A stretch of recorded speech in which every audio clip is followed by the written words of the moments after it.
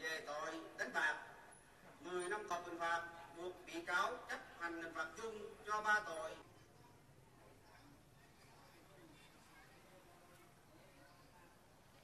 Những cái ờ, thành phần mà tham nhũng á, nó cũng hạn chế rất là nhiều. Đây là vụ điển hình của cả nước cho nên là khi mà tất cả là, là toàn dân cả nước mà nghe qua cái truyền hình thì những người mà có chức danh á, thì chức vụ thì người ta sẽ có cái việc cân nhắc hơn. Tổ chức đánh bạc tổng hợp hình phạt buộc bị cáo chấp hành hình phạt chung tiếp tục tạm giam tất cả các bị cáo tăng 155 bị cáo về phần hình phạt chung để của tòa án ấy là xử đối với từng đối tượng từ có cơ quan có, có chức quyền và những cái người dân và những cái xã hội đen là sẽ xử lý ra làm sao cho nó thỏa đáng với nguyện vọng của người dân ấy, để sau này không có tái diễn cái trường hợp này nữa. ba năm tù về tội tổ chức đánh bạc tổng hợp hình phạt buộc bị cáo chấp về tội tổ chức đánh bạc. Tổng hợp hình phạt buộc bị cáo chấp tòa án nhân thành phố Hồ Chí Minh. Buộc bị cáo chấp hai mấy hai tuổi mấy gần ba tuổi. Cha nó chưa nghe được. Đem cháu tôi vào cái án tử hình. tôi chỉ xin khuyên tòa khoan hồng cho cháu tôi với mức án chung thân thôi để cháu sau này nó lao động nó còn quay về với gia đình và con của nó. Con của nó này nè. Thì đây là đây là cha của hồ thanh tùng. Mà nói nó phải đi mượn áp dụng điểm B, D khoảng 2 Lê Văn Ơn, Đỗ Đạt Giang. Của nhà nước tôi cũng không biết. Mà chị có hy vọng. Tôi cũng không biết được tại ba tôi như cá nằm trong thớt giờ ai muốn làm sao làm tôi không biết được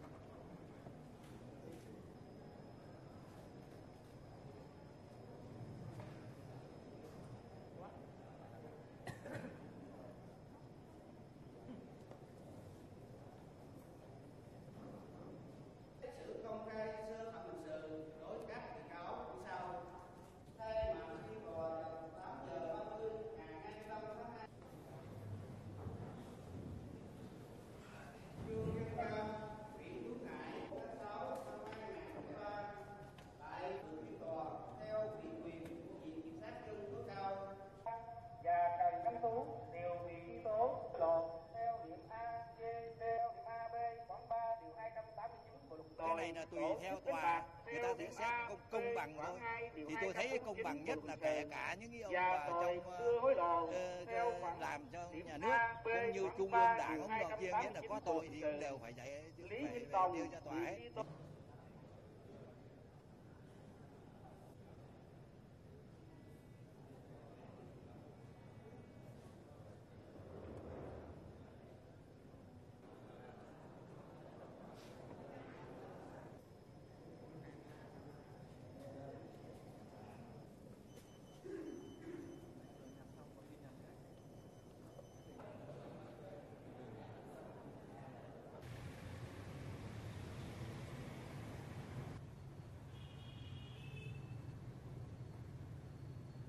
tòa sẽ giữ nguyên à, sẽ thống nhất ý kiến à, với viện kiểm sát không có gì thay đổi.